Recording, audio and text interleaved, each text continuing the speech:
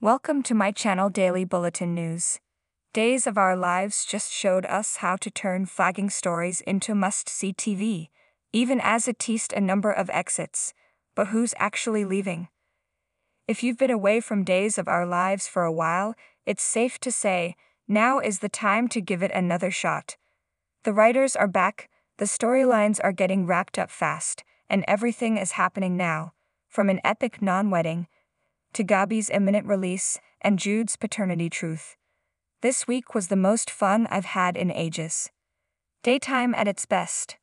I have been waiting all week to talk about that wedding, and for all the right reasons. Seriously, I was not excited about it at all when the temp writers were planning it, and I was not excited about the plan to push Konstantin to embezzle and confront him. I just wanted it to be over. But Monday's episode made me want to stand up and slow clap. If head writer Ron Carlivati sees this somehow, bravo.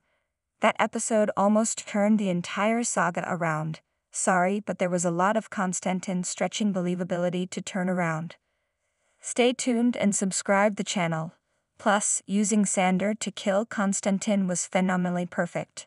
Not just from the standpoint that he's actually Victor's son getting revenge, but also of his personality. Xander was the only Kiriakis there who was a cold blooded killer. I loved how he just strode in, snatched the gun from Brady, and was like, screw this. He hurt everyone I care about. No, not you, Theresa. I'm done. Everyone throwing him under the bus afterwards was really slimy, but hey, I expect no less. That's going to play into the conflict when he learns he's Victor's son. Can't boot me out of the family now, can you? I'm glad they wrapped that up fast, though, and didn't press charges. I think the fans would have revolted if Xander got in trouble for offing their hated Konstantin.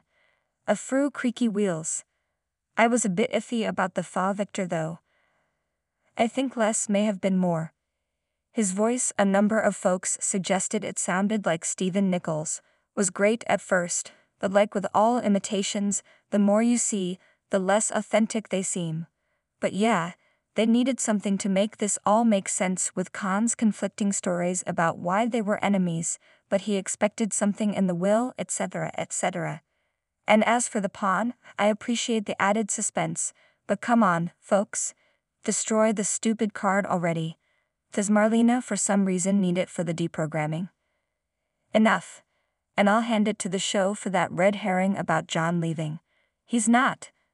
The show confirmed it with us and I didn't think he'd be gone gone out of nowhere, but they did make it seem like he might be off our screens for a bit. Actually, the show spent a lot of time this week making us think that about characters. A dimmer a dozen. By the end of the week, though, we pivoted back to the DiMeras, which was less exciting at first. But then things got interesting. Kristen becoming the new CEO was a bit out of nowhere, but oh, EJ's going to blow his lid. It was set up well with him smirking to Abi that he'll be permanent CEO soon. And it seemed a bit drastic that suddenly now, after six months of doing nothing to get Gabi out, Stefan suddenly decides it's time for a jailbreak. But I think that was mainly due to the interim writing stretching it out. Because I also loved that the setup from back when Sloan messed up switching DNA tests paid off after eight months. I don't think it would have been that long without the strike. But the way it played out from Stefan deciding to go on the run, to Kristen offering her getaway swag, because of course she has it, to him grabbing the wrong envelope and seeing EJ isn't Jude's dad, was kind of brilliant. As long as the payoff is clever and worth it, I'm okay with waiting for one. I guess that's kind of how the Konstantin thing ended, albeit unintentionally thanks to the writers returning. Goodbye and hello. There's no way Stefan is going anywhere now that he knows this.